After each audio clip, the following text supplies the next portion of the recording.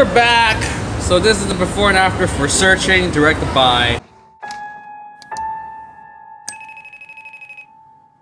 Hey, Dad. Hey, sweetheart. Where are you?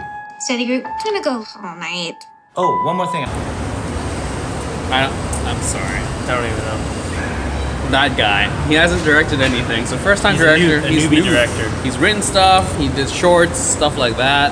We have John Cho and a whole slew of Koreans. Yeah. So uh, you know, after your crazy rich Asians, you might want to check this out because you know support diversity. Good supplement. Yeah, so um, I just am excited that they're doing this whole screen thing. It has 91% on Rotten Tomatoes, you know, grain of salt type of thing, but still, I'm always like curious how they pull off these screen stuff, and it's a whole movie of just screens.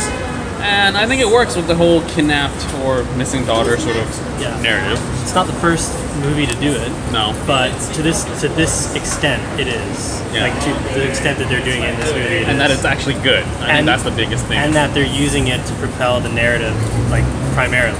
Yeah. It's like the chief vehicle for Yeah. propelling the narrative forward. Um, like I said to you earlier, I'm a little worried about the cluttering the frame. Mhm. Usually, when I see movies, I, I don't like there to be a lot of clutter in the frame, but Yeah.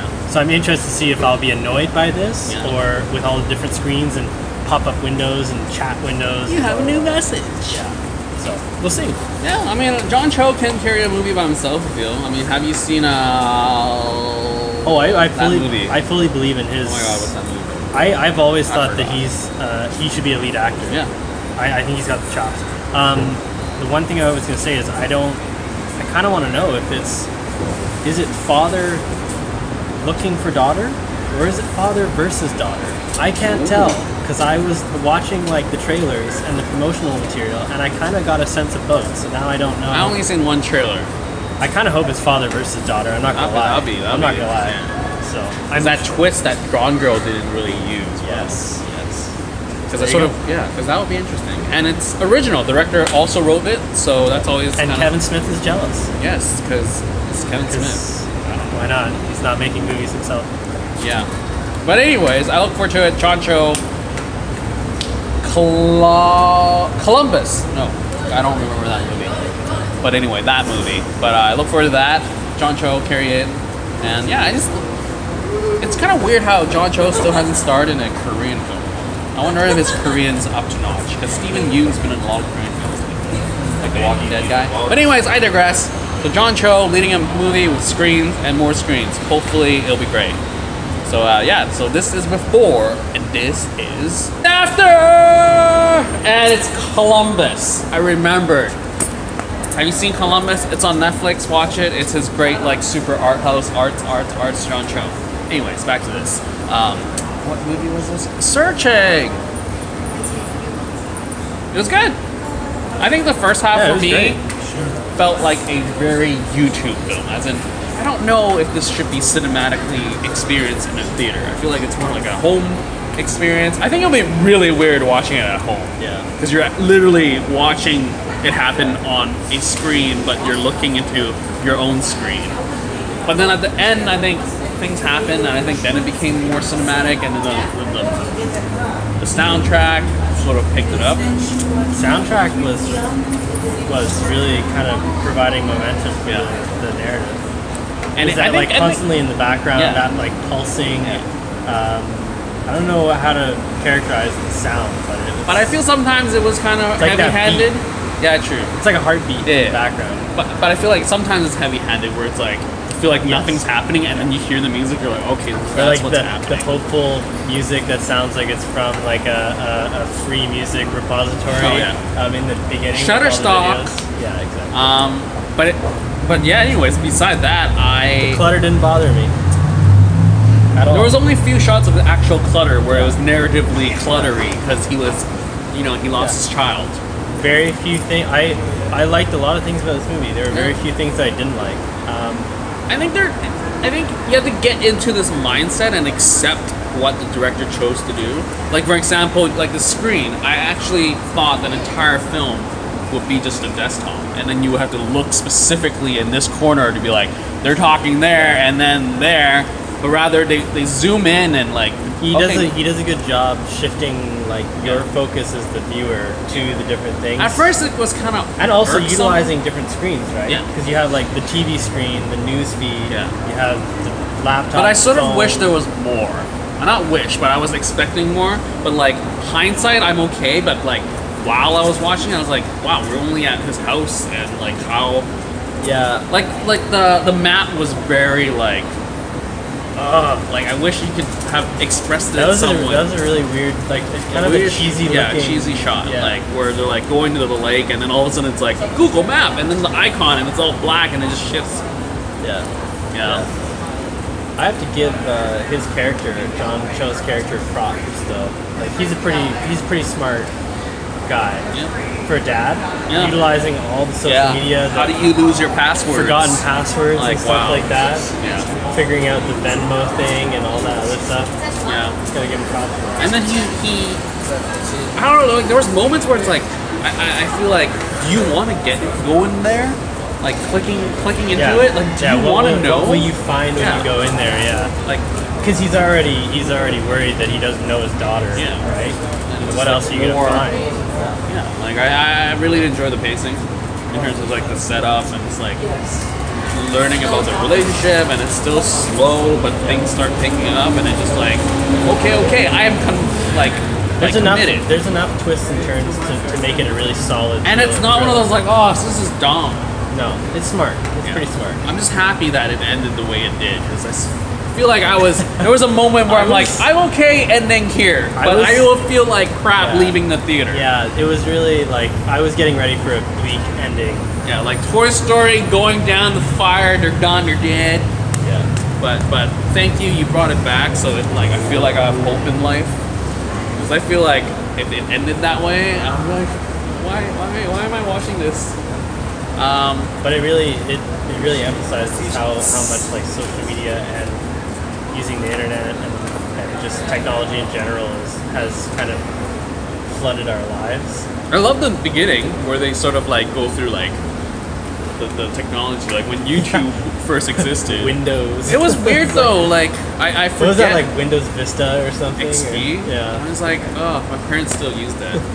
um, but yeah, that was a great montage of like like the relationship and just what sets things off. Because I think there's a lot of things where it's like you see it happen and you sort of assume a lot, like the relationship. You like see the death of the mom.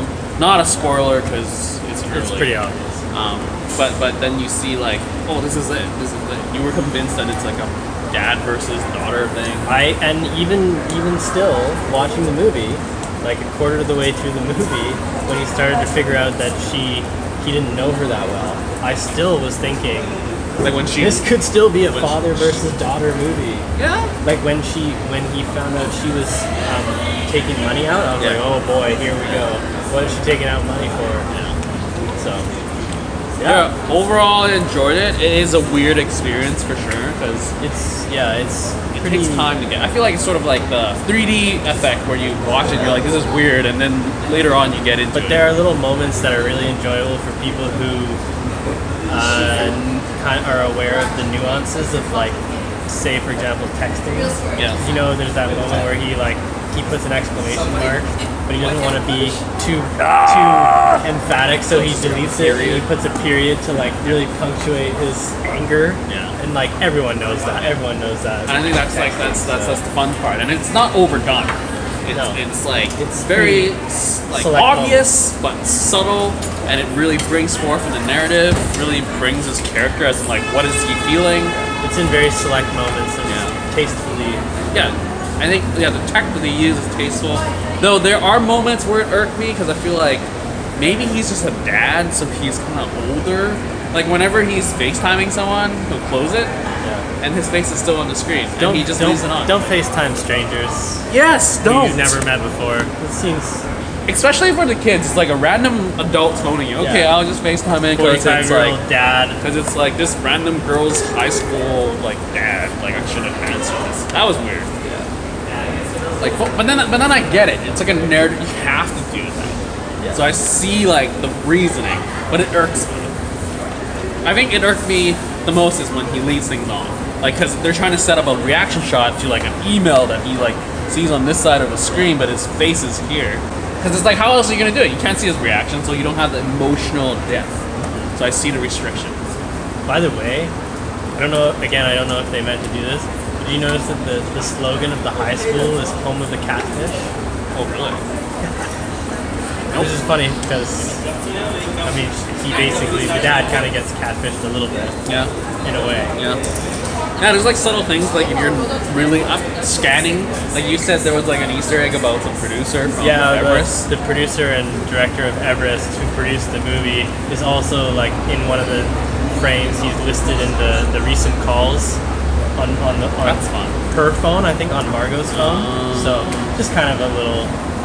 But I kept I kept looking around at all the different frames and, and, and like windows that were open just to see that kind of Yeah. stuff. Must have taken a lot to um, like when he's looking on ABC Seven News website and they've got all the headlines from that time or, or fake headlines. Yeah, those Must have taken a lot to put to create all that. Yeah. So uh, props. good job on that. Just to make it more authentic and fun. Like you literally could just watch this and just focus on what's happening, but you're like, oh, let's start scanning the screen. What's on the screen? Yeah. So that was fun. Um, yeah, I think I enjoyed it a lot more after the fact. I think I brought it up earlier. It was like it felt like a YouTube video. That, like production value, is low, low, but it's like hard Yeah. to like pull off. But probably a low budget movie that'll make pretty decent money, I would think. yeah, support it. Diversity. And it's a parent's worst nightmare. Yes, if you're a parent, watch it. I would hate watching this if I was a parent. Watch it with your kids. Don't watch No, it without don't. your kids. yeah. Make sure they're sitting right beside Yeah, you. hold their hands and kiss them.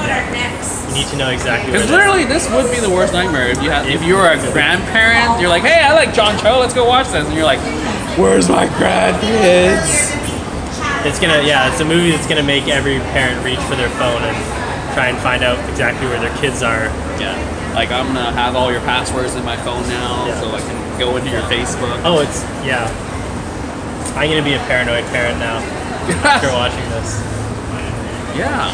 So always just pick up your phone when they want to FaceTime you. Good job for a first um, movie, um, Aneesh Yeah. I'm sorry. Jaranki. Sorry. Good job, but I will have your name. I'll know your name video. after your second movie comes out. Yes, I look forward to that. Yeah. And I hope you write it because because that's usually better. Yeah. Anyway, so uh, this was enjoyable and it's getting better as we talk about it, so that's always a good sign. And uh, this is it. This is the before and after of searching. Searching. Searching. Later. Searching. So